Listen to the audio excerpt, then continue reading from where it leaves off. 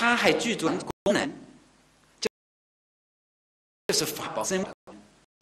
这个觉性是绝对去，叫这不行，不伤害。你好，他对你也不伤害；你坏，他也不伤害。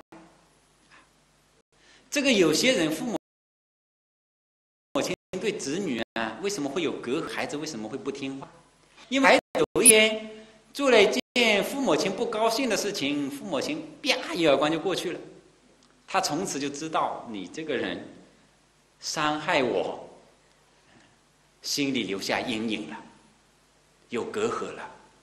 其实按道理说，母亲跟孩子是最亲的，因为他来到这个世界，他的这个整个身体的这个孕育的过程呢。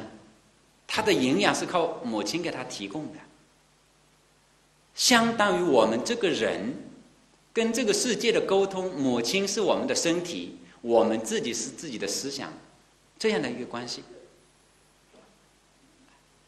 所以母子能够连心，心连在一起的。但是为什么子女会背叛你了？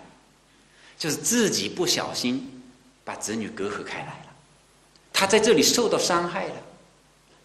所以，很多人呢，他在不懂事的时候、青少年的时候犯了错误，父母啊、兄弟啊或者长辈啊，能够包容他，能够教育他，无论多错，你也觉得没关系，你可以改，你可以往上走，可以往前走，但是你绝对是错的，哇，他就会感恩了。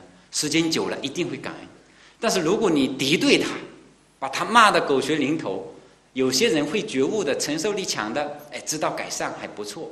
但是如果没有这种觉性的人，没有这种觉悟啊，这个自觉性不高的人，他马上就抗议了。他背后就有怕受伤害呀。可怜凡夫都是自以自我为中心的，包括父母也是如此。因为父母都是凡夫嘛，所以要想子女好，先要把父母教的没烦恼。父母没烦恼了，子女就会没烦恼了。哎，父母烦恼一大堆的，子女肯定有烦恼。所以我们佛法跟佛法学习没错，因为佛是没有烦恼的人，我们向佛学习。所以这个正法是什么意思呢？就自信具足的法宝，正而不邪。你在正面的时候，做好事的时候，他能够包容你。告诉你这个道理这样的，你做坏事的时候，正法也不会拿你怎么样，也不会伤害你，